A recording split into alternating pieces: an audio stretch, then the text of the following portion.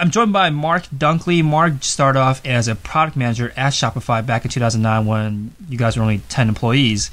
Uh, so you've really seen the growth of a startup to becoming a much larger company as a, a product manager. And now you transitioned to a role leading one of the design projects, which is really cool because I think the designers and product managers are probably the two uh, you know groups or two roles that work very closely together from the inception of a product to actual delivery of it. So welcome, Mark. Thanks, uh, Felix. Yeah. So, what what were you doing? Uh, you know, before product management, what were you? What, what kind of roles did you have before? What kind of jobs did you work at before? Yeah, when when you're a company of around nine or ten people, uh, your roles are really loosely defined. Um, everyone's doing everything, and obviously, we didn't really have product managers until like officially probably around the 90 or 100 mark. Um, we didn't really have anyone specifically owning uh, you know a specific product or a project even um, it was all kind of uh, in the air if you will. And, and i think that works for some cultures and it doesn't work for some cultures but around the 90 mark we started experimenting with with product managers and uh, putting a formal team in place. So when i first joined i was the first designer um, the, design co-founder uh, hired me daniel and uh, I was the first like full-time designer for Shopify, so definitely got to see it grow from uh, from a small team to to 550 i think we're at right now. Cool. So when you you said that uh, you were basically uh, you know brought in when there were only 10 employees how did you get the job? Uh, i was in university still and uh, i was trying to apply for like a summer job and i just met uh, tobi and daniel the two founders for coffee and uh, and cody's also founder too. Um, tobi and, and daniel and and they, they saw some of my shopify work because i eventually got onto e-commerce for my freelance career. Did some uh, some small small projects. One of them was like a bakery, and the, the the site was featured on like Shopify's like best design websites and stuff. So uh, we were having coffee, and uh, they just said like, "Hey, we'd love you to to work for Shopify." And uh, that was in the summer, and then I dropped out of school after that because I just loved it so much, and I, I I did not like school at all. What were you going um, to school for? Business business. I was in uh, university of ottawa's business program and it was good. You meet a lot of people um, and did case competitions and the extracurricular stuff really helped but uh, i can't recall a single like thing i learned in class from from school unfortunately. Yeah, yeah so. that seems to be the kind of common theme. And would you say that you are a or are technical and do you feel like you need to have a I guess how much of an understanding of the technical I guess implementation of the products that you are designing do you need to have to be a product manager? Yeah, I'm technical all the way up until like just don't ask me to write any tests mm-hmm. like for, for my code and I'm, I'm fine elsewhere just a little ERB snippets design HTML CSS JavaScript all that fun stuff um, does a product manager need to be technical is a really interesting question um, I feel like the, the, most important thing for a product manager is he adds value to his team. And if you're working on a problem that's like super uh, niche, maybe like for example shipping, and you're talking about like UPS and how to brokerage deals with UPS or FedEx or whatever, then if that product manager has you know an extraordinary amount of knowledge in that field, both from you know understanding the trials and tribulations of a uh, of a merchant and also understands you know what it is from a UPS and FedEx perspective as well. Um, that, that's an incredible amount of knowledge to bring to the table. And I don't think that person necessarily has to be as technical as long as he's flanked by you know some really uh, you know, head designer or, or a lead developer uh, as long as he has those resources available to him. Um, in some ways being technical can be a bit of a burden because if you don't know how to step back um, and give your developers and designers breathing room um, to actually explore and make their own mistakes um, it can get you in a lot of trouble. And that was definitely one of the mistakes i made when i first uh, came in there. Obviously i had a bit more knowledge about shopify than everyone else I was trying to bestow this cornucopia of knowledge upon uh, upon these people, and and you know I think in in reality you should just let them make their own mistakes and uh, and really act as a mentor more than anything. Um, so it, I think it depends on the project. Uh, I definitely would struggle in in a like trying to estimate timelines and estimate the the value of projects and how long it would take um, if I was non-technical. And I think in, in a role like Shopify, you have to be technical because we're so engineering driven. Right. Um, it just gives you respect and and you can communicate better with your peers. Yeah, I agree with that. I think that you know being too technical, you can't. I guess you can't really be too technical, but you do want to let people that you've hired or let people that that's on your team do the jobs that they're good at and that they were brought in to do. And I think what we were talking about before the start of this recording about how I think the product management role, product management job is very uh, transferable to being a CEO or being the the founder of a startup or founder of a company, and those are kind of challenges that I think a lot of founders experience at first, where when they are just by themselves, they have this kind of superhero mentality where they try to do everything themselves or try to have their hands in everything, but it's just not scalable. And that's the main reason why you know you hire and as a product manager, that's the reason why you have people like designers, project managers, and actual developers, you know, working with you rather than you doing everything yourself. And you were actually a founder for two companies that you previously and you previously worked as a freelancer. Um, which is you know I think a pretty common trait is entrepreneurial like spirit that a lot of product managers have. And now that you are on the product management side and design side, uh, working at a company, how do you feel like the skills are transferable between a product manager at a company and then if someone wants to start a company of their own later? Yeah, I think I think very related, very closely related. Um, I, I, see like designers, entrepreneurs, and product managers all kind of similar in the sense that they really care a little bit extra in the user experience. They really care about the overall how they sign up to to to how they get into the product. Um, and their first few days in the product, especially um, those those three roles really care about that initial experience. So they're definitely transferable, especially I think the biggest thing, um, more so with entrepreneurial and CEO and product management, is just time management and, and establishing a roadmap. Those are skills that uh, are, are, transferable. Even when you leave, if you become a designer again or a developer again, um, you're able to kind of ask yourself, okay, is this something that we should be working on? Is this important? Does it fit my criteria? Uh, it, like being able to, if you get a chance to do product management and you're a developer, designer, secretary, whatever, definitely jump on it because, you know, there's nothing more like as a designer right now. Um, I'm leading one of the design projects at Shopify. I can I can communicate better with with my with my product manager um, or director or whoever I'm speaking with because I understand what they value, right. what they're judged against, and and how we both can work together a lot better. So yeah, they're always transferable between the two. Um, the only real difference between product management and, and design is just what you do day to day.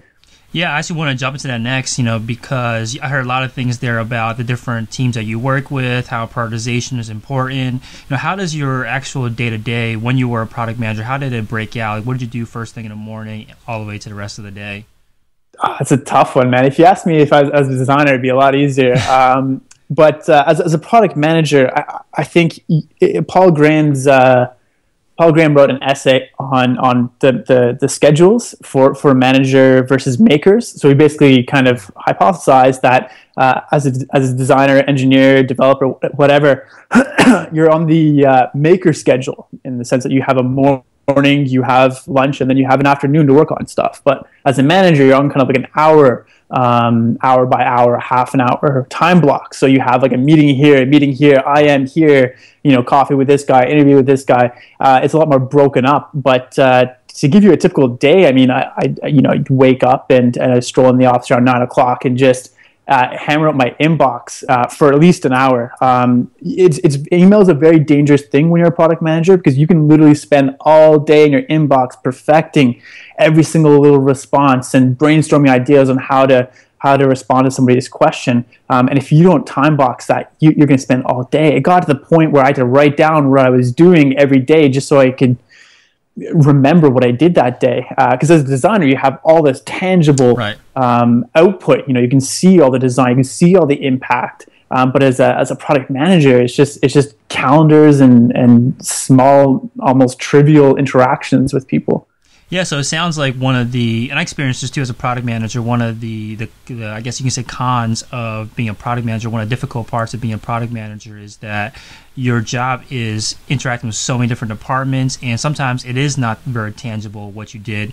And usually, the products that you work on are so spread out over you know X periods of months or quarters that you don't really get to see the the, the actual work that you produced. You know, but it, that doesn't mean that it's not valuable. Every day that you put in, you're the one kind of glue that holds the entire team together, making sure that communication happens throughout everything. So you know that's kind. Of, I think that's like. Um, uh, I guess a, a, difficult part about being a product manager.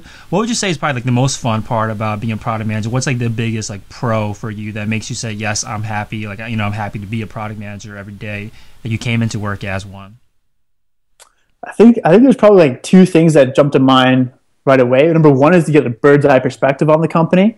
Um, you really understand what every team is working towards, and yeah, you can understand this as a as an engineer, designer, but uh, you don't do that on a regular basis. You don't talk to the people that you should be talking to on a regular basis. And, and as a product manager, you're forced to speak to everybody, even like you know the head of support, which you probably won't speak to as a designer. So it really gives you kind of a, a broad overview, and you understand as a company that you're moving towards a certain goal, um, which is which is really really nice. Uh, the next thing that kind of jumps out at me as, as being a product manager is just being able to see those uh, like as a product manager you don't actually produce anything. And you always kind of let your team shine? You never kind of take credit for anything. So as a product manager you never actually like really do stuff. You don't actually have responsibility like you're responsible for x. You are responsible for however is those little ideas that you put into somebody's head where you're, you're kind of facilitating these ideas um, so, for example, one I remember one time specifically, I'm like, "Hey guys, like people have a lot of problems building a Shopify template.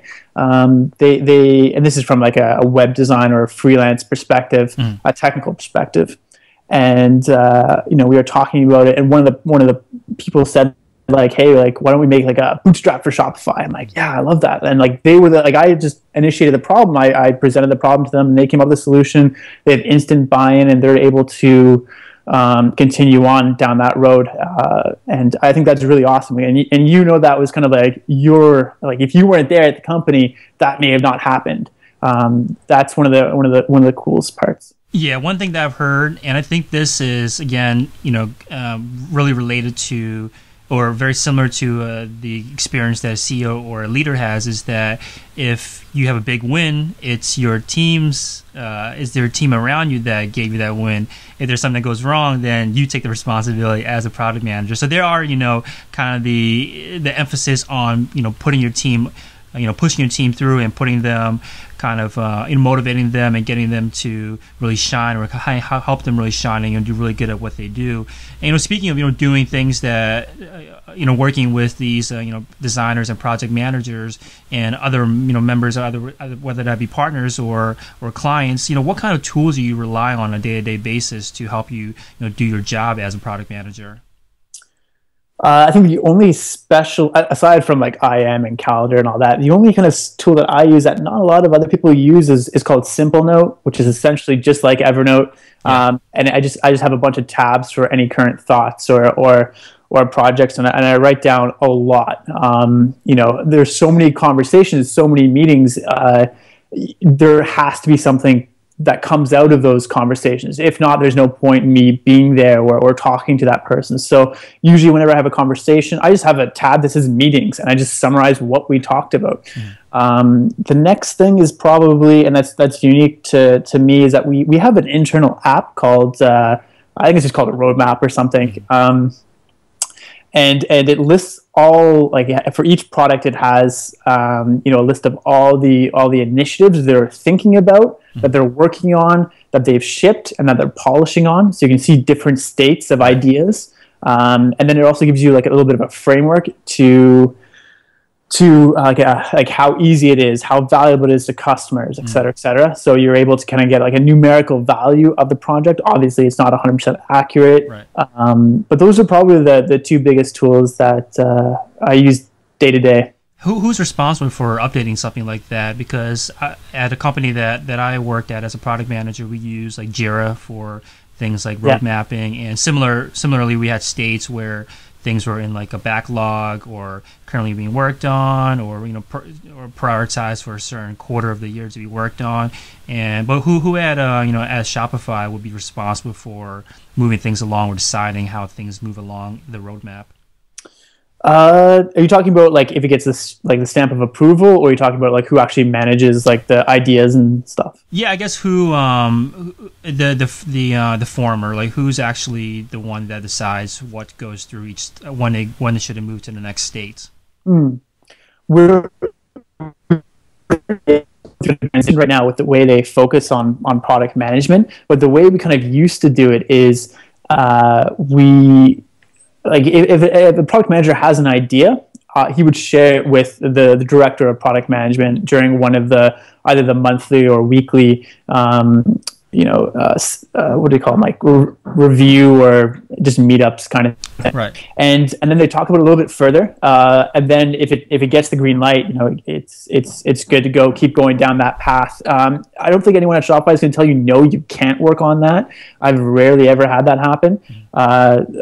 But I have had like the, like in a really bad I've had the CEO go like, "Wait, what is this? Like, when did you start this? Like, what is this for?" And like that was that was not a good move by me. Um, definitely like over communicate right. uh, your ideas, uh, if anything. But nothing. Uh, it's your responsibility as a product manager to to curate your roadmap, curate your ideas, and present those in a in a uh, in a in a presentable fashion. Mm-hmm. Um, but yeah, no one ever said said no, don't don't do that. It's right. not that kind of. It's pretty flat the organization. Gotcha. What about like things like wireframes or mockups? Uh, you know, now that you work as a designer, I'm sure you experienced it a lot. But as a product manager, were you using tools to put together kind of very basic first draft mockups for your designer?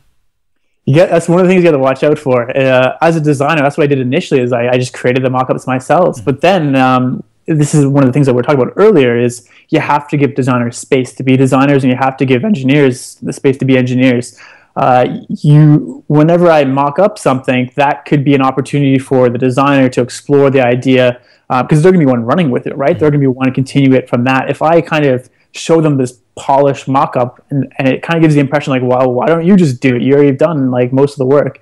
Um, it's almost like they're picking up the scraps. Right. So I, as a product manager, as a, as a design, formerly a design product manager, I would I would definitely stay away from uh, mocking up any concept. It's fine to mock up stuff and show them to your your you know your peers, your other product managers, or the CEO or whoever. Um, but uh, definitely draw the line when you show your team this stuff and keep it really light. If anything, you know, whiteboard stuff. I mean, you really should start at the problem with your team. Your entire team should be with you as soon as you start thinking about this idea. Um, it's it's really important not to go out on your own and brainstorming the, these ideas because in a kickoff, when you when you all together as a team talking about the problem and you have all the answers, well, it's like, well, why are we here? Like, what's the point? Um, and you've missed a lot of good feedback from everyone, and that's definitely the art of product management is being able to guide everyone to that solution you you think is is appropriate or uh, can actually solve the problem. Yeah, I totally agree with that. I think that one of the key benefits, if you are going to make mock-ups, is it's really good exercise for you just to have a better understanding of the features that you want to build and kind of map it out in your mind and see like what parts you haven't thought about yet, whether that means from a user experience perspective or just you know empty forms that you didn't think that that you didn't ever consider that are now really evidence now that it's laid out in a physical form for you. And you know, speaking of you know working with a, a designer um, or speaking of you know working with other teams, uh, what's your number one tip for working with uh, a designer? Then, if if you are, because you're saying that before that they are they should be a part of the process from the beginning. Maybe we'll start there. You know, who should be working with you from the get go in determining the problem and you know from day zero essentially. I think yeah, determining the problem is, is definitely the product manager's domain. Um, you know, I don't think you should involve your necessarily involve your team in identifying problems that we should solve. Uh, a lot of the time, people will look up to you for the problem um, to be solved. So in that case, uh, the UX team is huge. Um, you know, being in constant communication with them, uh, being in constant communication with their customers, trying to understand what they're trying to do with the product and what um, problems they're having uh, in uh, what's blocking them from achieving what they want to achieve. Uh, so those groups, definitely customers, UX people um, are my my two most favorite people um, to to kind of involve in the problem assessing stage, uh, as well as your peers on. on like other product managers, you know, keep this in mind as well. They're always aware of all the problems that they face, and they can even elaborate on on some of the problems in in their areas. So, like if we're talking about um, the product page in Shopify, you know, adding a product, well, like the guys that handle shipping may have something to say about this. The guys that are theme designers or the theme theme product team may have like whenever they upload images, they're always the wrong aspect ratio. How can we solve that problem? So you always get um, a much broader uh, vision of as well talking to product managers. Mm-hmm. now when you work with a designer what are you like handing off in terms of like actual artifacts or documents? Like what mm-hmm. do you do you meet with them? Like how do you transition your knowledge and your understanding of the problem and your proposed solution? How do you get that into the designer's like hands so they can do their job?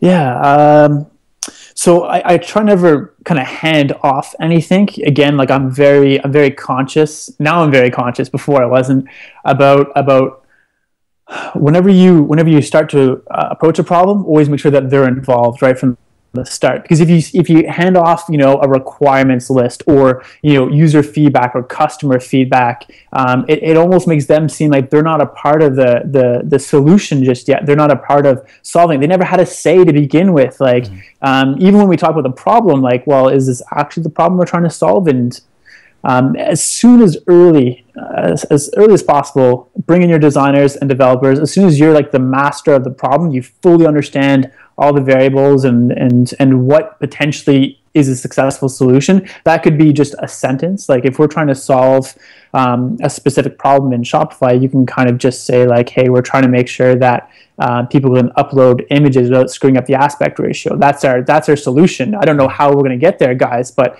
um, anyone have ideas and just rapidly prototype stuff. And again, you always have a few ideas in your back pocket. Um, you're not relying on your team to solve these problems for you. Your responsibility as a product manager is to guide and to form and sculpt these ideas and make sure that they're always on the right track and they're always you know towards that end goal of making sure that the aspect ratios of images aren't all messed up or whatever. Mm-hmm. now what about developers? Like how do you work with developers when you were a product manager and any tips that you can provide on effectively communicating with developers uh, developers is tough because I'm not a developer, and a lot of the time you feel like you're going blind in a lot of situations. Like if I say, "Hey man, can you fix this bug?" and it and it may take the developer, you know, one entire day. It may take almost one entire week, and you're kind of like, you're like, should this take an entire week? Like you're not actually sure if if you know the person's you know performance is is really being maximized here. So if you're not a designer, if you're not an engineer, uh, it's really important to to have somebody in the company that you can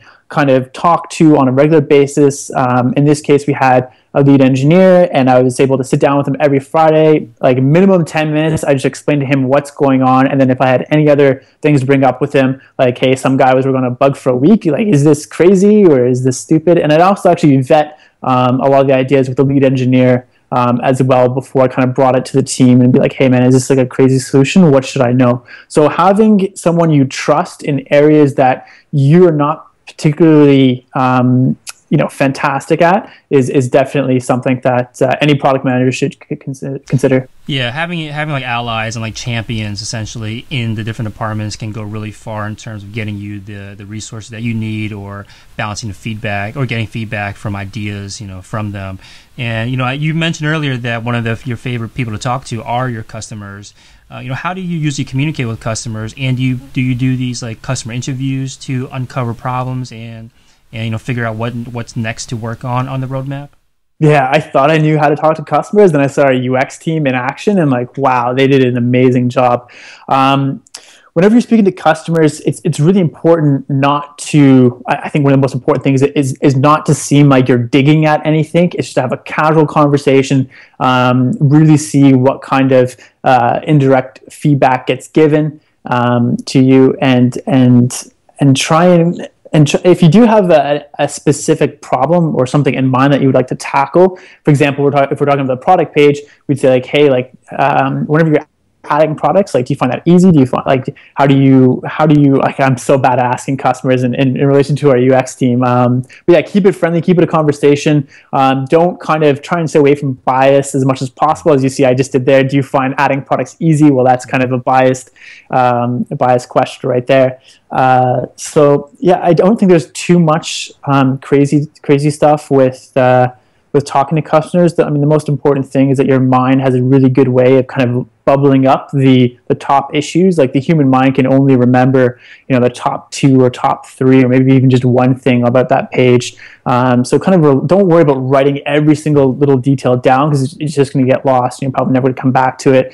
Um, so yeah, just having a casual conversation, and usually that merchant will be able to list at least one thing that they really are passionate about, or or so forth.